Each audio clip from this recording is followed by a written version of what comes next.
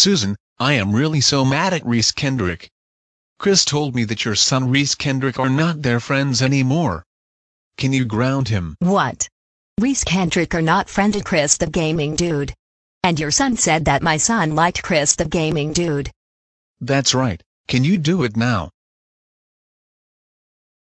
Don't worry I will ground him and he will get lots of punishment, so thanks calling for me for this. Reece Kendrick. Me and your mother. We're going to have a talk. Reece Kendrick. Why did you lie to Chris the gaming dude for his opinion? He is very upset because of you. And now you will never going to see you again. That's it. You are grounded for billions years.